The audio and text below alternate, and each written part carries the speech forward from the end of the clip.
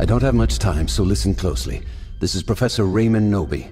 You now possess the Lost Pages and Kandarian Dagger, and must face the Dark Ones. I wish you the best of luck.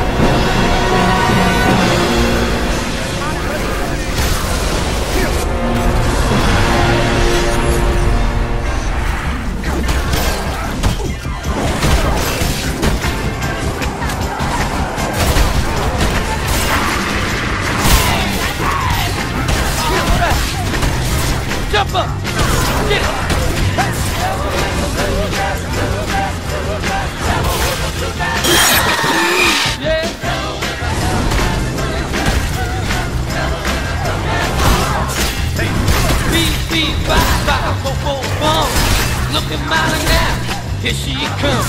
Wearing a wig hat, her face to match. High heel shoes and an alligator hat. Wearing pearls and a diamond ring. Got bracelets on her finger and